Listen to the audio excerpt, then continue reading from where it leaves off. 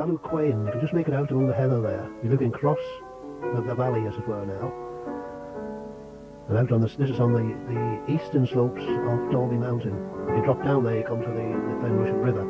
Out across there, beautiful place, Thalloo Quane, lovely uh, workmanship. There we are, over on the left, you can see the, the, the mines again there. Glenrushen mines away in the distance. And where the other side of the valley. And the remains of the horse mill is there again. Lovely workmanship and, and of stonework. The roof obviously is gone, but all the stonework is still there and good as the day it was built.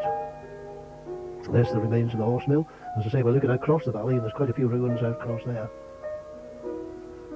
Just above Clary's Bridge, if you follow the main road towards the Niarbyl, you can branch out across the moorland to this particular place quite easily.